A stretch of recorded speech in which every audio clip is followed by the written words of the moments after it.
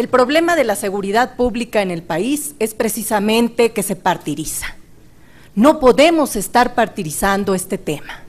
Este tema debe de ser de todos los mexicanos. El grupo parlamentario del PRI sabe y entiende que la principal preocupación de los mexicanos y las mexicanas es la seguridad pública. Es por eso que hoy estamos aquí atendiendo en esta Comisión de Seguridad Pública la comparecencia del señor secretario. Esta comparecencia, que es de gran importancia para el pueblo de México, debió de haber sido en el Salón del Pleno, en donde estamos todas las diputadas y todos los diputados, porque no es cualquier tema, no es cosa menor cuando hablamos de la seguridad de millones de mexicanas y de mexicanos. Hoy el grupo parlamentario del PRI viene con la intención de construir, viene con la intención de escuchar los planteamientos que aquí se han hecho. Y bueno, pues yo quiero decirles que uno de los planteamientos que hizo el secretario, que fue precisamente la necesidad del mando único, no ha sido el PRI quien se ha negado a poder debatir este tema. Este es un tema que los diputados federales de Nuevo León, del Partido Revolucionario Institucional, en el mes de marzo del año pasado, presentamos la primera iniciativa ante la Cámara de Diputados. La segunda iniciativa vino precisamente del Ejecutivo Federal a la Cámara de Senadores en el mes de octubre. Por eso, precisamente, señoras diputadas y señores diputados, pues vamos viendo quién realmente quiere apoyar para que la seguridad del pueblo de México pues sea realmente un éxito. Sabemos todos que el Estado mexicano pues no ha logrado ser garante de la seguridad pública, que se vive una situación caótica en nuestro país, que repercute en el deterioro del Estado de Derecho y en la formación de vacíos institucionales, los cuales lamentablemente son llenados por el crimen organizado.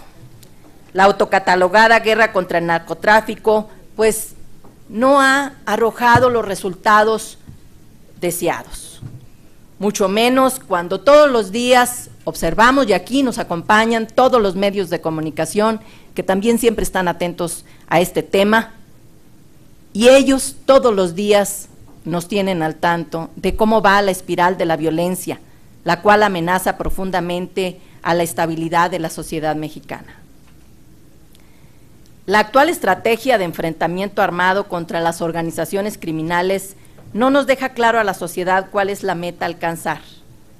No hemos percibido hasta el momento los objetivos realistas y estamos de acuerdo en combatir las organizaciones criminales, y castigarlas. No podemos identificar una respuesta duradera y progresiva que solucione la difícil situación de impunidad y de violencia que se vive en nuestro país. Observamos el enfrentamiento entre las Fuerzas Armadas, los cuerpos policíacos con las organizaciones criminales. El resultado es el incremento de la violencia y la afectación del orden público en el mediano plazo. El gobierno federal no ha dado una respuesta a la necesidad de crear políticas públicas que permitan otorgar a la juventud mexicana opciones de desarrollo óptimo, es decir, las políticas en materia de educación, de salud, de seguridad, de desarrollo social, de deporte, de trabajo. Todas estas no están articuladas, hecho que se refleja en el incremento de jóvenes que no estudian y que no trabajan. Es imperante, señor secretario, que se integren otras estrategias. Por ejemplo, atacar el lavado de dinero, del cual su información es escasa en el quinto informe de gobierno, por lo que se evidencia la poca labor realizada en esta materia. Combatir las fuentes de financiamiento debería de ser una acción central en las políticas de seguridad del Ejecutivo Federal ya que es la constante existente que da vida a las actividades ilícitas.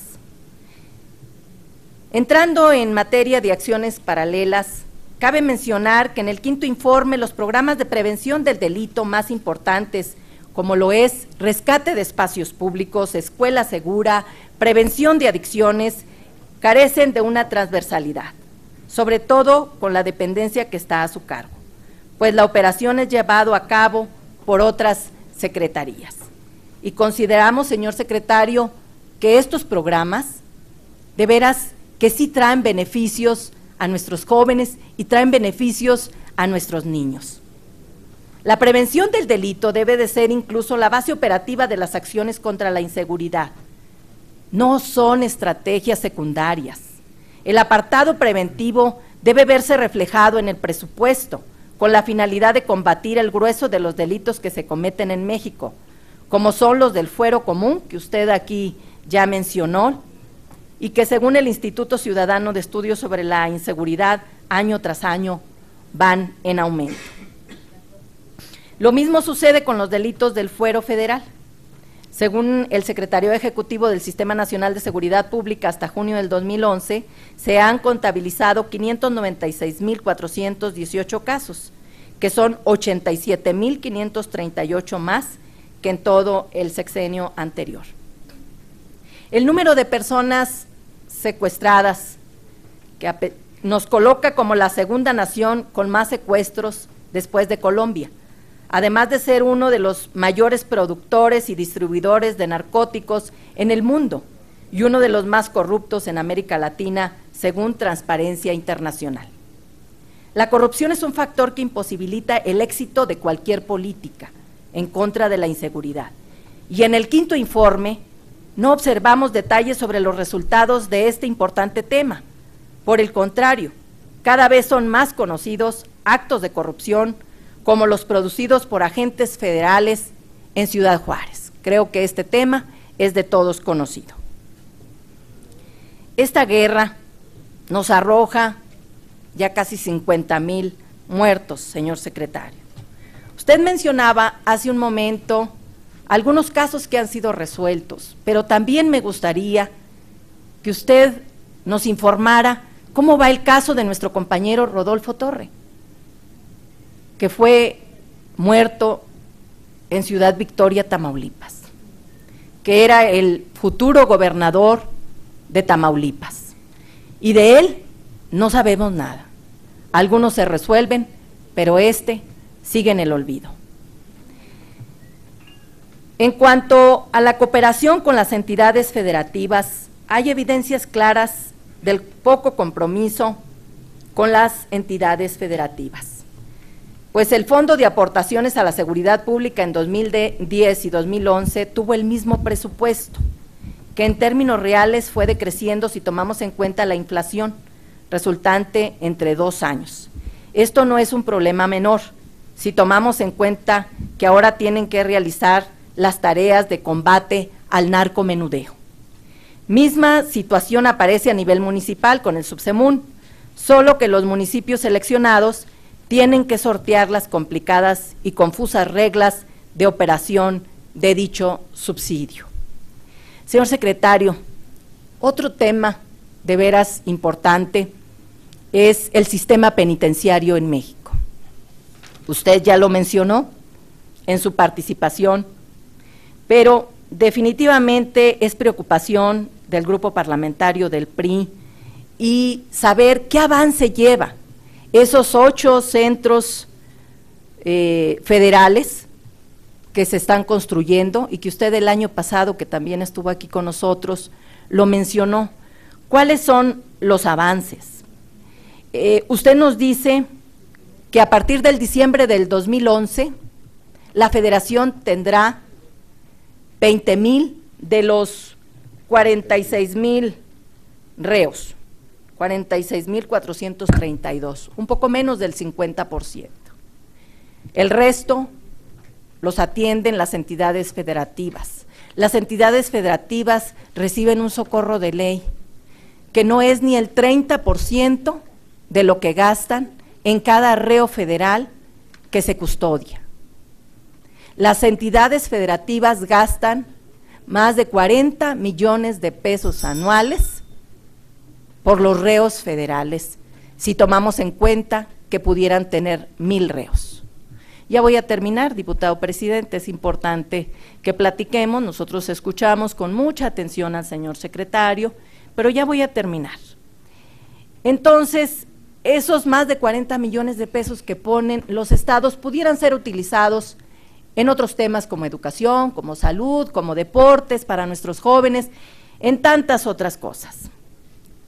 Y por último, señor secretario, ¿qué seguimiento se le da a las personas que son deportadas diariamente de los Estados Unidos y que únicamente ponen de reversa la camioneta o el camioncito en el que los traen a, la frontera y ellos pasan hacia el lado mexicano? ¿Se les da seguimiento? ¿Hay alguna autoridad del lado mexicano que los recibe? Son deportados porque han cometido delitos. Por lo tanto, creo que eso sería también muy importante para poder eh, revisar nuestras fronteras. Señor secretario, se quedan muchas preguntas, se me agota mi tiempo. Habrá dos rondas más en las cuales mis compañeros diputados del grupo parlamentario del PRI habrán de hacerle los cuestionamientos y habrán de hacerle las réplicas.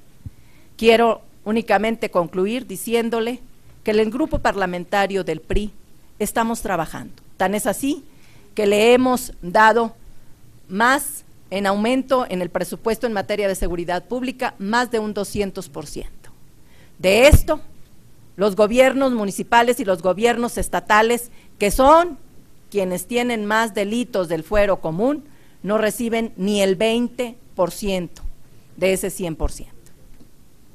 Queremos trabajar, queremos trabajar por nuestros estados, por nuestros municipios y por nuestro querido país que es México. Muchas gracias.